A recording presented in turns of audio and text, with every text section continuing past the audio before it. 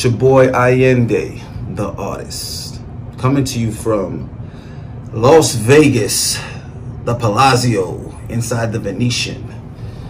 What's going on, fellas? How y'all doing? this motivating Monday. So today, what we're gonna chop it up over is game. Uh, just coming off a weekend here in Vegas, damn near a week, and uh, as you would imagine, it's full of ladies, women all up and down this shit, and uh, plenty of horny, ambitious dudes trying to get at said ladies. So, uh, yeah, I was taking notes throughout the weekend, man, just things to try to keep in mind, you know. Uh, wasn't really uh, focusing on on the ladies this weekend, but everybody else was. So figured I'd take a little bit of notes, shoot y'all some tips. Hopefully it'll help y'all out when you're out in the field. Um, but first and foremost, game is not controlling women. You cannot control women. What game is, is the art of getting what you want from and out of women. That's what game is. So, uh, for example, if you got to kick a chick out of your hotel room, like this fabulous room right here, um, if you got to kick her out of your car, you got to kick her out of the crib, you got to kick her out of a party, you failed, bruh. Okay? Um, it's not about arguing with chicks. It's not about putting chicks in their place. It's not about proving your point to chicks. It's simply about getting what you want. Um, now, how well you can do this uh, without spending money, spending too much time, and without compromising self, well, that's is what makes you an artist, right? So there's obviously some strategy, some skills, and some manipulation involved. Um, it's a very complex craft. So we're gonna go over a couple of tips real quick, uh, just things I wanted to remember. So for all you novice starters, I'm gonna hit y'all with some teenage game. When I was a teenager, before I left the crib, I used to write my number down, right? I would take my, uh, you know, take, this is before cell phones, obviously. But I would, uh, you know, write my phone number down, boom, right? Then I would give it a little bit of space, write my phone number down again, and repeat. I write my phone number down like five to 10 times, right? Before I would leave the crib. And I would rip that shit up into separate pieces of paper. You know what I'm saying? Or sometimes I wouldn't, you know, I'd have it on the same piece of paper. But anyway, the point was, is that I already knew that the closing rate on girls was very, very minimal. Um, getting girls' numbers is pretty difficult and giving your numbers a lot easier. So what I would do to obviously you know I'm saying, spread my seeds, you know, figuratively speaking, is um, I would already have those numbers written down, man.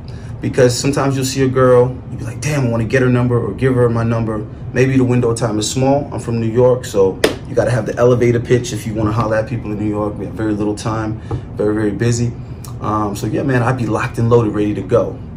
And I learned that obviously from experience, from fucking having to go run and find a pen and a piece of paper. And before you know it, she's gone you know, then it's awkward, you know, you can't ease into it, you can't have your, you know I'm saying, your demeanor and your rapport on check. So write your shit down before you leave the crib and just know that however many times you write it down, that's your expectation. So if you write your number down 10 times, that means boom, before you get back home, you need to give out 10 phone numbers. Doesn't make no sense you bringing home your own number, bro. You know your fucking number by heart, right? Duh, stupid. The girls don't. So write your shit down, have it ready to go. You see a girl you like, boom, quick intro, nice little compliment. Hey, listen, I know you're busy, you got things to do and shit. I actually got to get up out of here. But listen, hey, just take my number and yo, you know what I'm saying? If you feel to, give me a call and whatever.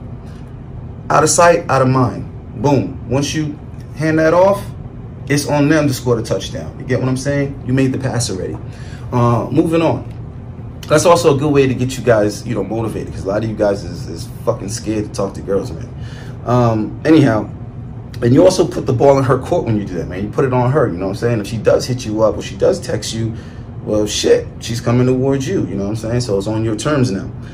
Uh, next thing is um, don't neglect to give girls direction. Um, girls have a habit of just wanting guys to know. They just want you to know what they're thinking. They just want you to know what they want. They want you to know what to say. They want you to know what to do. They want you to know when to make a move. They want you to know when not to make a move. Okay, here's the thing. You're not a chick, right? So you can't have the same expectations that women have. You're actually better off kind of being opposite of whatever they got going on, right? So if they expect you to know, you don't expect them to know. So when you deal with women, don't be afraid to give them direction. Because if you don't, what's going to happen is they're probably not going to do or react like how you would want them to do. And that's going to put you in an awkward position. And it's going to be even more work, uphill battle to try to get them back on course. So, like I said in the beginning, game is not controlling women, bro. It's not. It's getting what you want from them. So, if you give direct direction, you have a much better chance of getting a good response from them. And at least if you don't get it, then you know, boom, shorty ain't with it because I told her exactly what to do. Now, examples. Obviously, dudes need need examples. So I'm gonna give you a personal example, some game I ran uh, this weekend, and I've done it many other times when traveling, especially when I'm uh, provided a beautiful room like this uh, by the gracious, generous Donovan Sharp. Thank you, D. Um, but yeah, so when I do trips, business trips or whatever, I got a really nice room provided for me. What I'll do is throughout that course of that trip, I'll select, uh, you know, who I think is, you know, the the most uh, promising prospect, a girl that I really think is nice, that I want to spend the night, that I think is boom, boom, boom, and I think there's a little bit of chemistry. And um, at some point in time, I'll just be extremely direct and uh, I'll just give them a, a, room key, right? I'll either put it in their purse, put it in their pocket or whatever, you know, lean over, whisper some shit in their ear. Obviously, be, would be a girl whose number I already have, and I would just text her uh, my, my room number and just basically give her direct directions. So if she has plans to go out with her friends or she's doing something else, my, my, my, my mode of operating is I'm here for business. I'm busy, so this is what we're gonna this is what we're gonna do um, you're gonna go ahead do your thing. I'm gonna take care of business and do what I gotta do. But you got my room key. You got my room. You know what I'm saying? Whenever you're ready, just just come see me. Come fall in. If I'm sleeping, don't worry about it. You got the key. Let yourself in. Take a shower. Make yourself comfortable. Come wake me up. You know what I'm saying? Now, this is a little presumptuous, obviously, um, but that's the point. You're coming in real confident. You're real direct. You're giving order. You're giving direction. You're leaving it up to her now to follow, right? So if you know, you got everything else in play, that's some sexy shit. So that's the strong, confident way to go. That's for the brothers that actually got game, that actually are getting results. So this video is really for those type dudes. This isn't for you guys that haven't even gotten off the fucking launch pad yet. This is for the guys that closed the deal from, from here and there. But uh, we want to increase that um, those results. We want to increase that closing rate, um, get you up to your full potential. Um, so what's another little uh, another little suggestion? Okay, so invest in pussy. Okay, the same way that you invest in stocks. Diversify. Now, again, I'll give you good examples so that you understand exactly what the fuck I'm talking about. You don't be like, what does that mean? I'll tell you what the fuck that means, right? And give you a great example. Mistake I see a lot of dudes doing is investing too much fucking time, too much fucking conversation, too much fucking money on one particular prospect. They'll be at a bar or a club and they'll be talking up abroad, talking up abroad. Hey, let me get you a drink. And then it's another drink and another drink and they're way deep in the conversation. Bruh, bruh, bruh. the fuck is you doing? Okay? You're playing yourself on several levels. Number one, you're investing way too much. It's just it's just sex. Chill the fuck out. Um, number two, you're, you're, you're, you're giving her too much time, which gives the impression that your time is not valuable. And obviously it isn't, motherfucker. It's not even valuable to you if you could or would do that with a stranger. Um, and then also you're spending all this money on her drinks. So let me tell you what you should be doing. Whatever that budget is that you have to spend on drinks, don't spend that budget on a girl. Spend that budget on the girls. Spread it the fuck out, right? You don't want her to be your only option, right? You want her to feel like you have plenty of options and she's gonna miss out if she hasn't seized uh, that opportunity. So this is how you play it. Hey, you know, hey, how you doing? I saw you um I'd like to buy you a drink. Let's talk for a little bit. Okay, boom. What I just said, literal, a drink. you need to close that motherfucker within that one drink. And when I say close, it doesn't have to be holding hands, walking out of the bar or the club back to your hotel or your, or your place. No, no, no. What I mean is you need to get the name, get the number, where's she from, blah, blah, blah, blah, get the Instagram, whatever you got to do. Get that and get the fuck out of there, right?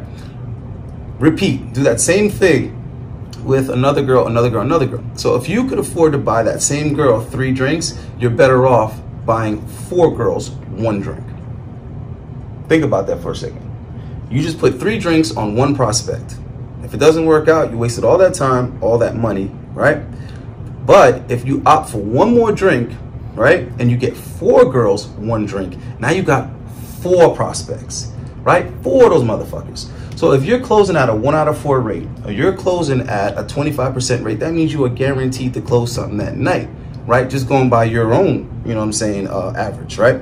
Now, if you're the type of dude that closes 20, 25%, and you invest that in one girl, it's a 75% chance you're wasting your fucking time, right? Time is your most valuable resource. Gonna be stupid. All right. Next tip, and we're gonna get the fuck up out of here because I ain't giving away too much of this shit. Most of you motherfuckers don't even jump up on it. Um, what's the next one? Oh, okay, this is the next one. Since we're kind of on the topic of like traveling and visiting other places, let me give y'all a little tip, tip, tip. Especially in a place like Vegas that's super, super busy, super, super crowded, and it's a it's a, a major tourist attraction. When people are visiting from out of town, they got hella shit to do. If not, they at least have hella expectations. Women already have a short attention span and they're already glued to their friends. Um, you know, like, look. So what's gonna happen is they already got a whole bunch of preconceived fucking shit that they want to do. They already got their little, you know, click, click, click, and we came together and we got to hang out and I got to spend time with my friends. All that's going on, bro. That's an uphill battle, dude. You're not that dude. If you're not that dude, you're not gonna separate a chick from the herd. Don't waste your fucking time. What you do do though, uh, uh, though, is you look for attractive locals, right? Because the locals are not distracted by the attractions and the this and the that and this club's popping and that and I'm trying to go here and I want to go take pictures and I have to hold my friend's hand. Bro, the locals ain't dealing with none of that. They're going to work, they're doing what they got to do, they're getting off of work and then it's leisure. It's fucking Netflix and chill or, you know, whatever it is, laundry, you know, it's not that serious, right? So you have a much better chance of getting some alone time with a girl that lives in a major city or lives in a city um, than you are a girl that just happens to be visiting that city at the same time as you. So uh, the state of mind you should have, this is just my humble opinion, the state of mind you should have is the girls that are also visiting, just get their social media, just get their phone number, bro. Just get their contact and you're out of there. Look at them like networking, right? If a chick lives in Atlanta, Georgia, be like, ah, I visit Atlanta, Georgia from time to time, or she lives in Texas. Oh, what part of Texas? Maybe I'll be in Texas. Think like that. Just get their information and get out of there. Especially if you live in a major city. Me, I live in Miami, bro. So uh, no matter where I meet a girl, it's good to take her her contact because Miami is the like most internationally visited city. So I know at some point in time that girl's gonna come to Miami. So nothing wrong with planting, uh, planting seeds for later. It's wasting time and energy and effort um, you know what I'm saying, working towards abroad, and it's probably not even going to happen anyway. So you want to delegate your time and your attention to the most optimal options, bro, the most likely. And in traveling situations, it is the the locals. Um, and then also, anytime you visit that city again, you already got that chick that's going to be there. She's to pick you up from the airport, all that good stuff. Um, so yeah, so when the girls are visiting, just look at it as networking, get their contacts. Um, as far as girls that you, you, are trying to close the deal with in that frame of time, you're trying to hook up, focus on the girls that actually live there. And you also should be already sourcing those girls that live in those cities and towns before you get there, bro. Come on, use the internet. What the fuck? Um, so anyway, that's it. I got shit to do. Um, some other interviews. So thanks for watching. Step your fucking game up. Challenge yourself on a daily basis, bro. Stop taking these girls so serious, man. It's just fun. If it's not fun, then then you're not doing it right. All right? Peace.